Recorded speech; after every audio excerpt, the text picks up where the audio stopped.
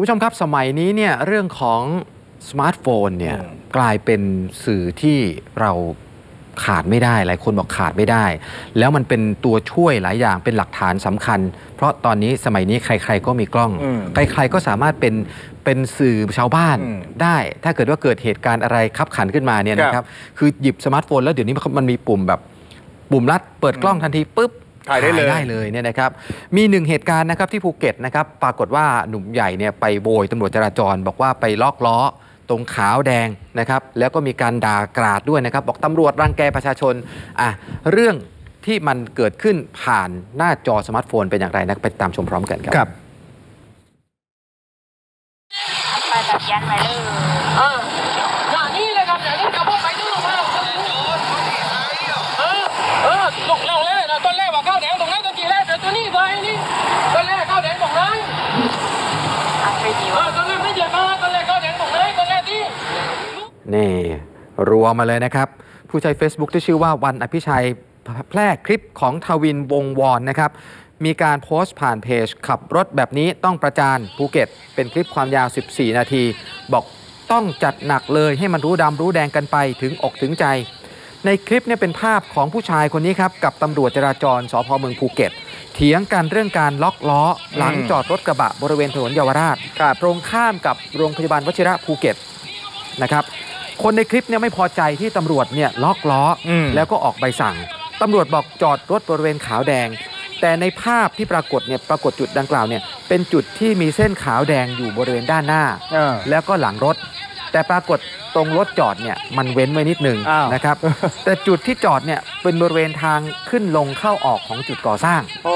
ก็จะมีผ้าแสดงสีเขียวปิดไว้ครับนะครับ ก็เลยมีการถกเถียงกันว่าจอดได้ไหมอ่าว่าตกลงจอดได้ไหมเออคือ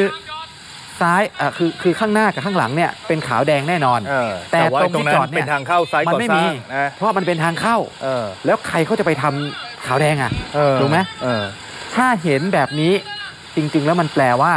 จอดไม่ได้นะคือต้องรู้อยู่ถูกไหมแล้ว ต้องรู้นะฮะก็ไปปิดหนึ่งไปปิดทางเข้าเขาครับสองคืออ่าข้างหน้าก็ขาวแดงข้างหลังก็เออขาวแดง อืมแต่พี่คนนี้บอกก็ผมเนี่ยไม่ได้จอดตรงขาวแดง ครับ แล้วจะมาล็อกอะไรผมนะครับ นี่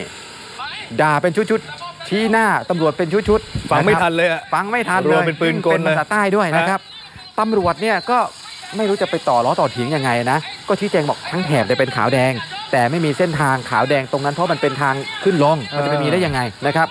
มีหลายครั้งในคลิปเนี่ยปรากฏว่าพี่เสื้อดำเนี่ยครับเหมือนจะ เข้าไปประชิดตัวเออตำรวจแล้วจะเข้าไปทำร้ายเออเออด้วยอารมณ์โกรธนะครับ เหมือนกับจะมีการใช้กำลังครับตำรวจอีกนายหนึ่งนะครับ ก็ยกโทรศัพท์ขึ้นถ่ายอย่างที่เราเห็นเนี่ยแหละอืมพอถ่ายเสร็จปุ๊บ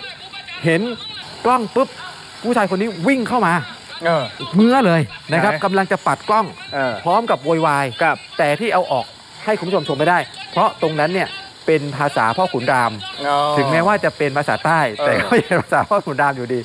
ก็เลยเอาออกมาไม่ได้นะครับเออเออ คลิปดังกล่าวพอเผยแพร่ออกไปเนี่ยครับก็มีคนมาแสดงความคิดเห็นเป็นจำนวนมาก